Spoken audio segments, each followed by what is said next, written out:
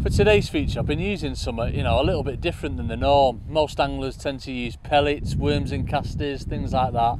But I thought I'd do, as I said, something different today. And I've been using sloppy ground bait, feeding it in little tiny bowls. Here's the actual mix here.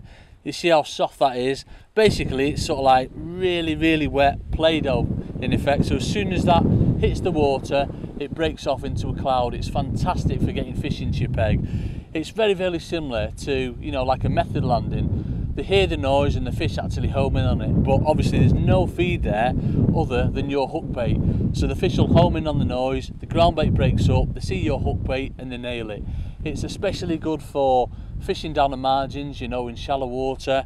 If you just tip that little ball in you know it lands with that nice plop in the water.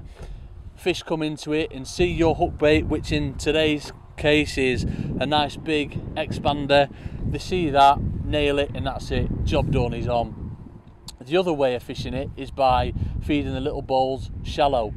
Now, it's very, very important to prepare your swim first. So start off away from your shallow line, sort of like your six meter line or down the margins all the time. Keep feeding them regular bowls, literally every 30 seconds, no more than a minute you want to let by without feeding something and it's just that commotion of the balls landing on the water that's what attracts the fish so you're sort of like feeding a ball slapping it over three times waiting. So there's you know that commotion going in but there's no feed whatsoever. There's just your hook bait. The fish see it and they take off with it. It's a fantastic way of fishing.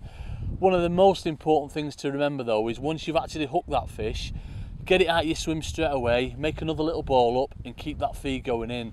Because not only are you keeping fish in your peg you're also preparing your swim for the next time you go back. So hopefully when you go back in after catching that fish, there's going to be a fish there waiting for you straight away. It's exactly the same thing as when you're fishing, you know, short. As soon as you hook to fish, get it out your peg, make another little ball up, just get another little ball right back in the swim, just to attract those fish that have been spooked out of your swim. Fantastic way of fishing, so give it a try. Sloppy balls.